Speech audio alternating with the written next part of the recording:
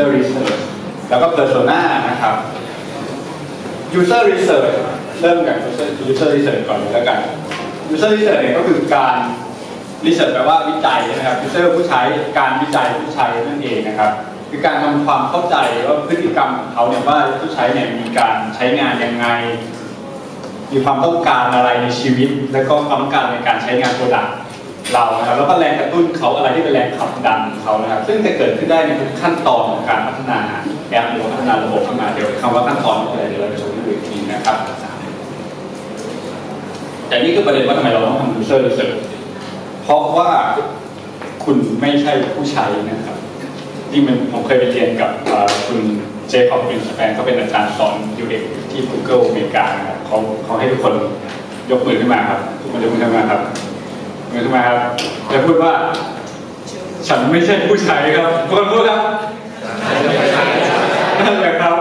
จำไว้นะครับคุณไม่ใช่ผู้ใช้คุณเป็นคนออกแบบนะต่อให้คุณจะใกล้เคียงกับการเป็นผู้ใช้มากเท่าไหร่เนี่ย แต่ว่าสุดท้ายเนี่ยอย่าลืมว่าคุณมีความรู้มากกว่าผู้ใช้ที่เป็นทางเก็ตอยู่แล้วเพราะคุณเป็นคนออกแบบถูกไหมคุณรู้ว่ามีอะไรอยู่ตรงไหนบ้างเพราะฉะนั้นเราเลยต้องทำความเข้าใจยูเซอว่าจริงๆแล้วเนี่ยเวลาเขาใช้งานหรือว่าก่อน ที่เราจะออกแบบเองก็ตามเนี่ยมันทำยังไง ซึ่งมันมีกลวิธีหลากหลายมากมาย อันนี้เป็นแค่ส่วนหนึ่งที่เราคัดขึ้นมาเท่านั้นเองที่ที่จะนิดหน่อยนะครับ ซึ่งถ้าเราแบ่งการพัฒนาโปรแกรมหรือพัฒนาระบบระบบนึงขึ้นมาเป็นสี่ขั้นตอนเนี่ย discover explore test listen เนี่ย discover ก็คือว่าหาว่าปัญหาคืออะไรเนาะ explore คือหาวิธีแก้ปัญหา test ก็คือเอาวิธีแก้ปัญหาเนี่ยไปทดสอบว่ามันมัน work ไหมแล้วสุดท้ายคือ listen ก็คือพอเราปล่อยออกไปแล้วเนี่ยเราก็ฟัง feedback ฟังผลลัพธ์กลับมานะครับ discover ก็จะมีขั้นตอนหลายวิธีเช่นการไปสัมภาษณ์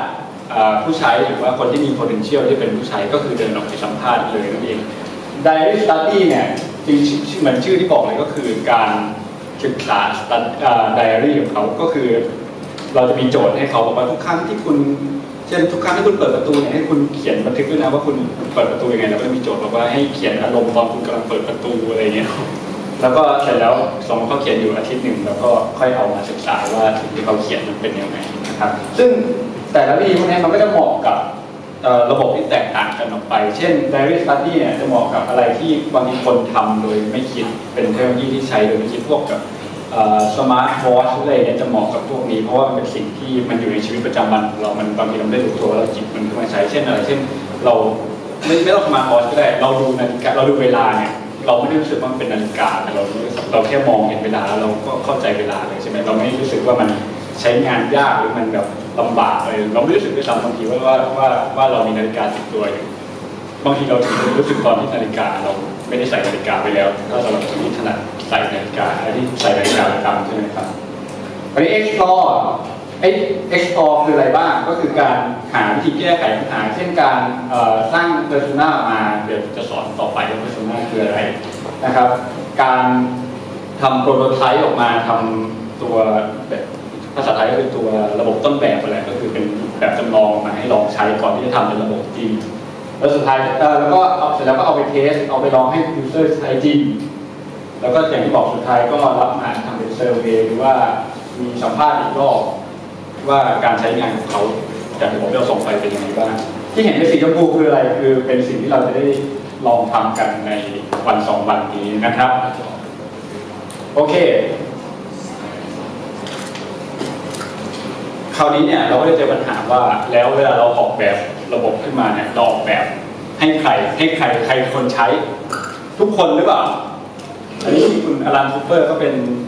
computer scientist แล้วก็เป็น UX ที่ดังมากคนหนึ่งนะเขาบอกว่า if you design for everyone ถ้าคุณออกแบบระบบของคุณเนี่ยให้ทุกคนใช้เนี่ยมันไม่ทำให้ใคร happy เลย you delight no one คุณจะได้ product ที่มัน mediocre ธรรมดามากไม่ได้โดดเด่นอะไรเลยเพราะว่าคุณออกแบบให้ทุกคนใช้